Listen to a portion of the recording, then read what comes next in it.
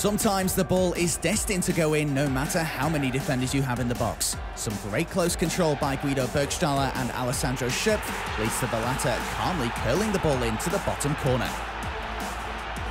FSV Frankfurt's defence is at sixes and sevens as Schöpf fires Nuremberg into a 1-0 lead shortly before the hour mark, but the away side eventually fought back to secure a 1-all draw.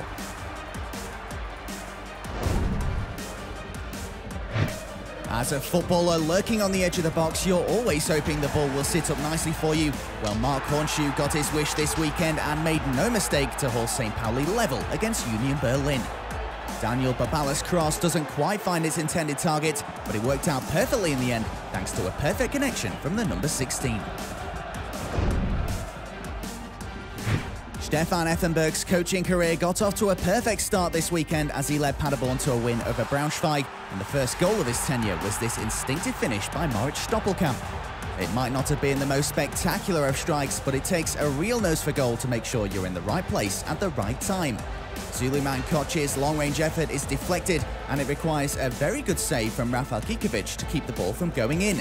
But he's helpless as Stoppelkamp pounces on the rebound to put Paderborn on course for a 2-0 win in the end. Bottom of the table, Duisburg looks set for a much-needed point against high flyers Heidenheim, but then Tim Skarke popped up in the 83rd minute.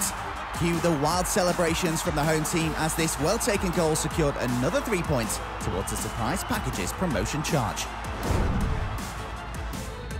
And we end our countdown with Bundesliga 2 set piece specialist Vincenzo Grifo. Free kicks are like penalties for Freiburg these days, and this one was straight out of the top drawer. It was part of another big win for the league leaders as they put five past Greuther Fürth, but there's no doubting that Grifo's corker was the pick of the bunch.